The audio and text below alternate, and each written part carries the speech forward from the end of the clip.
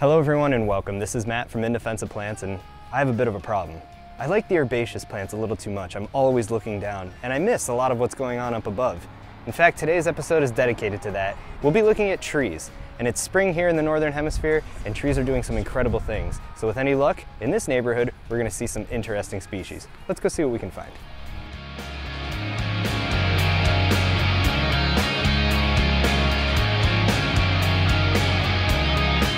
Now here's a good place to start.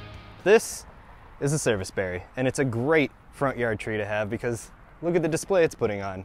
Now this is related to the apples, and as you can tell by how showy these fruits are, this is adopting an insect pollination strategy. And indeed, despite the cold nights, there's plenty of things buzzing around, getting a sip of nectar and collecting pollen. Now in a few short weeks, provided pollinators have done their job, this will produce lots of fruits that the birds absolutely relish. It's a hardy species and an excellent landscape tree. Such a charming plant.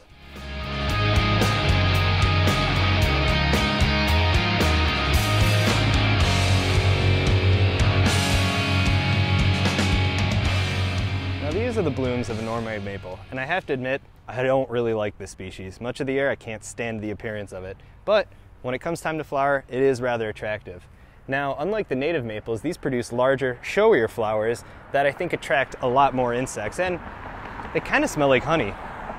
Now, I think there's plenty of other trees native to your region that are a much better choice for landscaping than the Norway maple, but in the meantime, while it's flowering, I guess I can stop and enjoy it.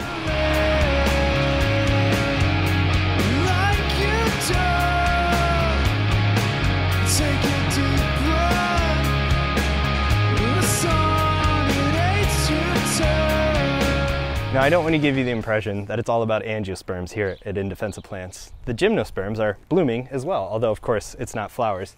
These are cones. This is a male tree, it's a red cedar, and many of you are probably cursing this tree right now because of the prodigious amount of pollen that it produces. It's wind pollinated, and because of that, they don't have that mediating effect of a pollinator taking pollen directly to a female ovule.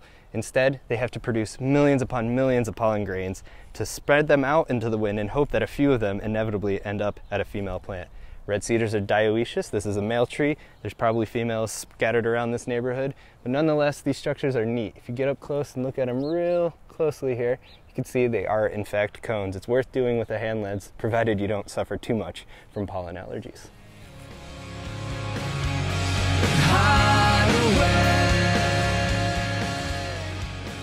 These flowers are really neat.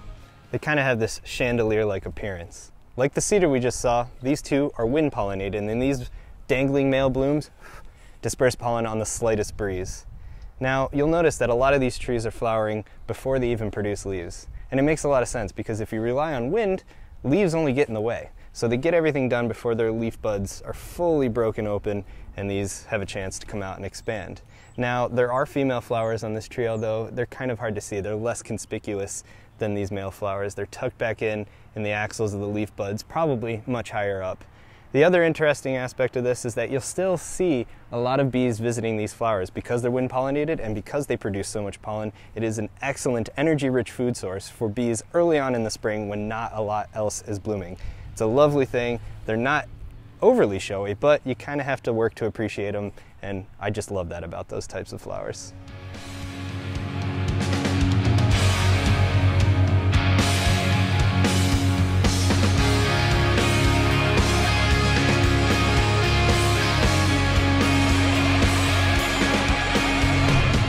To me, the real rock stars of the spring flowering trees are the magnolias. Check out this bloom. They're large and they're ancient. Magnolias evolved long before bees ever came onto the scene. As such, their flowers evolved to attract other types of pollinators like beetles. To begin with, look at these petals. They're not actually petals, they're undifferentiated bracts called tepals. Inside the flower, we see laminar stamens and a hard fused carpel that houses the ovules. Now, these are very tough because the beetles actually chew on them as they look for pollen, but inevitably they end up pollinating the plant in the process. They're a beautiful family of trees and one that really adds life to any landscape. And there's as many variations on the theme as you can possibly think of. It is a gorgeous family of plants.